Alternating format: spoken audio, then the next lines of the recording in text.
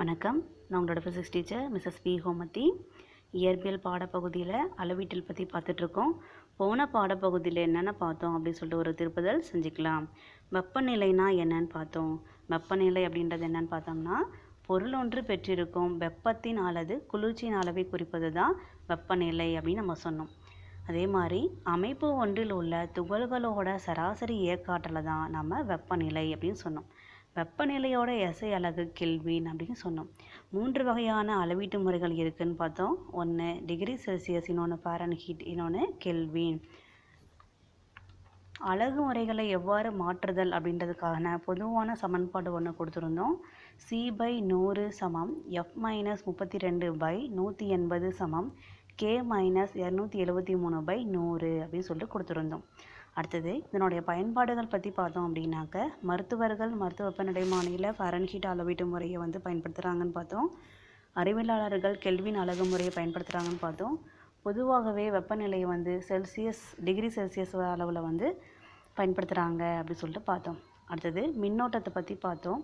மின்னூட்டங்களின் ஓட்டம் தான் நம்ம மின்னோட்டம் அப்படின்னு சொல்கிறோம் அப்போ ஒரு குறிப்பிட்ட திசையில் மின்னூட்டங்கள் பாய்வதை தான் நம்ம மின்னோட்டம் அப்படின்னு சொல்கிறோம் அதனுடைய இசையலகு ஆம்பியர் அப்படின்றது படித்தோம் அப்போ ஒரு ஆம்பியர்னால் என்ன அப்படின்னு பார்த்தோம்னா ஒரு கடத்தியின் வழியாக ஒரு வினாடியில் ஒரு கூலும் மின்னோட்டம் சென்றால் மின்னோட்டத்தினோட மதிப்பு ஒரு ஆம்பியராக இருக்கும் அப்படின்னு சொல்லிட்டு பார்த்தோம்.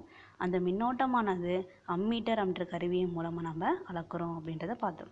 இந்த பாடப்பகுதியில் அடிப்படை அளவான பொருளின் அளவு பற்றி பார்க்க போகிறோம் ஒளிச்சரிவை பற்றி பார்க்க போகிறோம் அடுத்தது வழி அளவான தலக்கோணம் மற்றும் திண்ம கோணத்தை பற்றி பார்க்க போகிறோம் முதல்ல பொருளின் அளவு பற்றி பார்க்க போகிறோம் இப்போ பொருளின் அளவு அப்படின்றது என்னென்னு பார்த்தோம்னா ஒரு பொருளில் உள்ள துகள்களின் எண்ணிக்கையின் அளவு அப்படின்னு நம்ம சொல்கிறோம் இப்போ உங்கள் கையில் ஒரு நாலு சாப்பீஸ் கொடுத்துருக்கேன் அப்படின்னா இந்த சாப்பீஸ்களோட எண்ணிக்கை என்னன்னு கேட்டோம்னா நீங்கள் சரியாக நாலுன்னு சொல்லுவீங்க அதுவே அதில் அடங்கி இருக்கக்கூடிய துகள்களோட எண்ணிக்கை என்னன்னு கேட்டோம்னா அதை உங்களால் நேரடியாக கண்டறியதுக்க முடியாது. அப்போ அதை மறைமுகமாக தான் நம்ம கண்டறியணும்.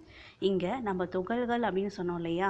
எதெல்லாம் இங்கே துகள்களாக எடுத்துக்கிறோம் அப்படின்னு பார்த்தோம்னா அணுக்கள் மூலக்கூறுகள் அயனிகள் எலக்ட்ரான்கள் மற்றும் புரோட்டான்களை தான் நாம் துகள்கள் அப்படின்னு நம்ம சொல்கிறோம் அப்போ ஒரு பொருளினோட அளவானது அணுக்கள் அல்லது மூலக்கூறுகளோட எண்ணிக்கைக்கு வந்து நேர்த்தகவில் தான் இருக்கும் அப்படின்னு நம்ம சொல்கிறோம் இப்போ சின்னதாக ஒரு பொருள் இருக்குது அப்படின்னா அதனுடைய மூலக்கூறுகளோட எண்ணிக்கை வந்து கம்மியாக தான் இருக்கும். அதுவே பெரிய பொருளாக இருந்துச்சு அப்படின்னா அதனுடைய மூலக்கூறுகளோட எண்ணிக்கை வந்து அதிகமாக தான் இருக்கும். அதனால தான் மூலக்கூறுகளின் எண்ணிக்கைக்கு நேர்த்தகவில் இருக்கும் அப்படின்னு நம்ம சொல்கிறோம் அப்போ பொருளினோட அளவோட எசை அலகு என்னன்னு பார்த்தோம்னா மோல் அதனோட குறியீடு எம்ஓஎல் இப்போ ஒரு மோல் அப்படின்றது என்ன அப்படின்னு பார்த்தோம்னா ஆறு புள்ளி ஜீரோ ரெண்டு மூணு என்று பத்தினடுக்கு இருபத்தி மூணு துகள்களை உள்ளடக்கிய பொருளின் அளவானது ஒரு மோல் என வரையறுக்கப்படுகிறது அப்படின்னு நம்ம சொல்கிறோம் அப்போ ஒரு பொருளில் ஆறு புள்ளி ஜீரோ ரெண்டு மூணு என்று பத்தினடுக்கு இருபத்தி மூணு துகள்கள் இருந்துச்சுன்னா அந்த பொருளை நம்ம ஒரு மோல் அப்படின்னு சொல்லிட்டு நம்ம வரையறை செய்யலாம் அப்படின்னு சொல்கிறோம் அடுத்தது ஒளிச்சரிவு பற்றி பார்க்கலாம்.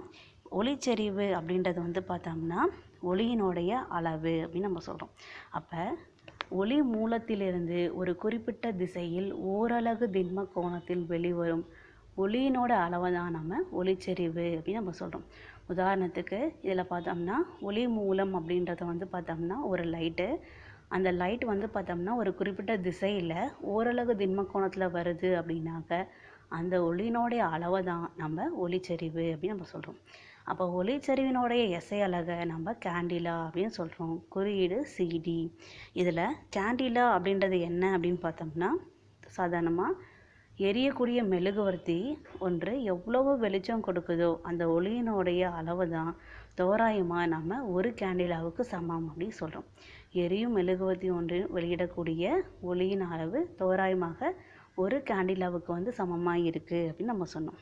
சரிங்களா? அடுத்தது ஒளிச்சரிவு மானி இல்லைன்னா ஒளிமானி பயன்படுத்தி அளவிடும் கருவியை பயன்படுத்தி நம்ம கண்டுபிடிக்கலாம். ஒளிச்சரிவினுடைய அளவை நம்ம கண்டுபிடிக்கலாம் அப்படின்னு சொல்கிறோம் அடுத்தது தலக்கோணம் பற்றி பார்க்கலாம். தலக்கோணம் வந்து ஒரு வழி அளவு நம்ம சொல்கிறோம் அப்போ தலக்கோணத்தை நம்ம எப்படி வரையறை செய்யலாம் அப்படின்னு பார்த்தோம்னா இரு நேர்கோடுகள் அல்லது இரு தளங்களின் குறுக்கு வெட்டினால் உருவாகும் கோணம் தான் தலக்கோணம் அப்படின்னு நம்ம சொல்கிறோம் அப்போ ரெண்டு கோடு ஒன்றை ஒன்று வெட்டிக்குச்சு அப்படின்னாக்கா அங்கே உருவாகக்கூடிய கோணம் தான் தலக்கோணம் அப்படின்னு நம்ம சொல்கிறோம் தலக்கோணத்தினுடைய எசை அழகு நம்ம என்ன சொல்கிறோம்னா ரேடியன் அப்படின்னு சொல்கிறோம் தலக்கோணத்தினுடைய எசை அழகு ரேடியன் அப்படின்னு சொல்கிறோம் இந்த ஒரு ரேடியனை எப்படி நம்ம வரையறை செய்யலாம் அப்படின்னாக்க ஒரு வட்டம் அப்படின்னு எடுத்துக்கிட்டோம்னாமே வட்டம் வரைகிறதுக்கு நம்மளுக்கு ஆரம் தான் தேவை.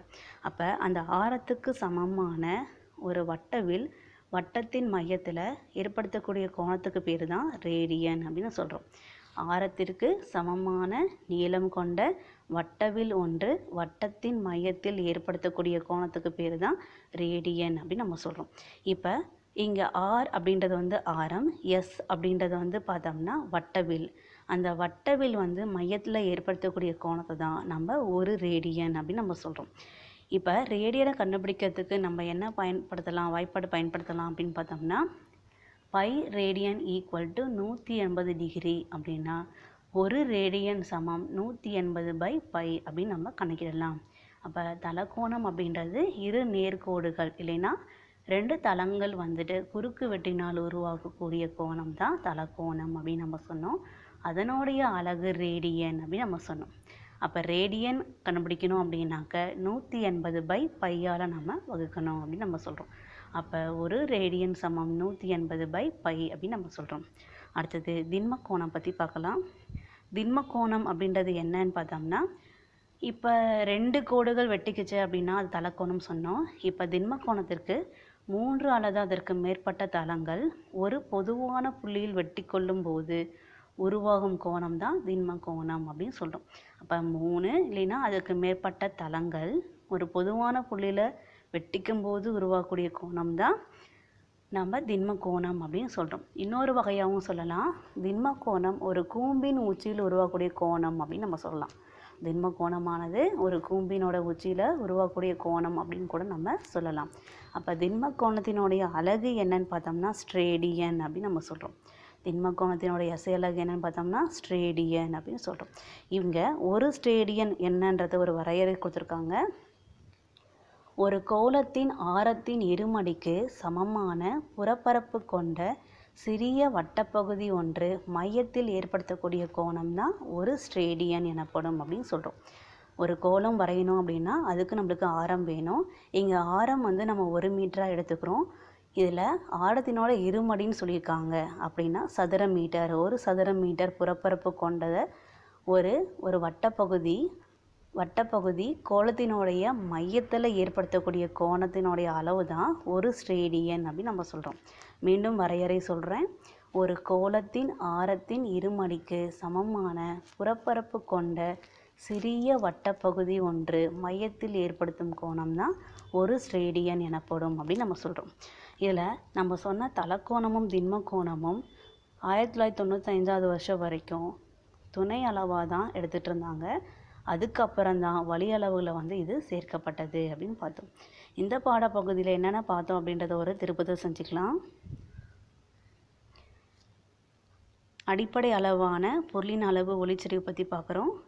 பொருளின் அளவு அப்படின்றது என்னென்னு பார்த்தோம்னா ஒரு பொருளில் உள்ள துகள்களின் எண்ணிக்கையின் அளவு அப்படின்னு சொல்கிறோம் அதனுடைய எசை அலகு மோல் அப்படின்னு சொல்கிறோம் இங்கே ஒரு மோல் அப்படின்றது என்னன்னு பார்த்தோம்னா ஆறு புள்ளி ஜீரோ ரெண்டு மூணு இன்ட்டு பத்தினடுக்கு இருபத்தி மூணு துகள்களை உள்ளடக்கிய பொருளின் அளவு தான் ஒரு மோல் அப்படின்னு சொல்கிறோம் அடுத்தது ஒளிச்செறிவுனா என்ன அப்படின்னு பார்த்தோம்னா ஒளி மூலத்திலிருந்து ஒரு குறிப்பிட்ட திசையில் ஓரலகு திண்ம கோணத்தில் வெளிவரக்கூடிய ஒளியினுடைய அளவு தான் ஒளிச்செறிவு அப்படின்னு சொன்னோம். ஒளிச்செறிவை கேண்டிலா அப்படின்ற அழகால் நம்ம அளக்கிறோம். ஒரு கேண்டிலா அப்படின்றது என்னன்னாக்க எரியக்கூடிய மெழுகுவர்த்தி வெளியிடும் ஒளியின் தோராயமான அளவை தான் நம்ம கேண்டிலா அப்படின்னு நம்ம சொல்கிறோம் அப்போ ஒளிச்செறிவு மானி அல்லது ஒளிமானி கேண்டிலா அழகில் அளவிடக்கூடிய கருவி அப்படின்னு நம்ம சொல்கிறோம் அடுத்தது தலக்கோணம்னா என்னன்னு பார்த்தோம்னா இரு நேர்கோடுகள் வெட்டி கொள்ளும் போது உருவாகக்கூடிய கோணம் தான் தலக்கோணம் அப்படின்னு சொல்கிறோம் அதனுடைய அழகு ரேடியன் அப்போ ஒரு ரேடியன்றது என்னன்னு பார்த்தோம்னா ஆரத்திற்கு சமமான நீளம் கொண்ட வட்டவில் ஒன்று வட்டத்தின் மையத்தில் ஏற்படுத்தக்கூடிய கோணம் தான் ரேடியன் அப்படின்னு நம்ம சொல்கிறோம் இங்கே ஆரம் அப்படின்றது வந்து ஆறுன்னு சொல்கிறோம் இந்த வட்டவில் ஏற்படுத்தக்கூடிய அந்த நீளம் தான் இங்கே எஸ்ன்னு நம்ம சொல்கிறோம் அப்போ ஒரு ரேடியனுடைய அளவு நூற்றி எண்பது டிகிரி பை பை அப்படின்னு நம்ம சொல்கிறோம் அடுத்தது திண்ம கோணம் பற்றி சொல்லும்போது மூன்று அல்லது அதற்கு மேற்பட்ட தளங்கள் ஒரு பொதுவான புள்ளியில் வெட்டி கொள்ளும்போது உருவாகக்கூடிய கோணம் தான் ஸ்ட்ரேடியன் அப்படின்னு நம்ம சொல்கிறோம் அப்போ ஒரு ஸ்டேடியனை எப்படி சொல்லலாம் அப்படின்னாக்க ஒரு கோலத்தின் ஆரத்தின் இருமடிக்கு சமமான புறப்பரப்பு கொண்ட சிறிய வட்டப்பகுதி ஒன்று மையத்தில் ஏற்படுத்தும் கோணம் தான் ஒரு ஸ்டேடியன் எனப்படும் அப்படின்னு நம்ம சொல்லியிருக்கோம்.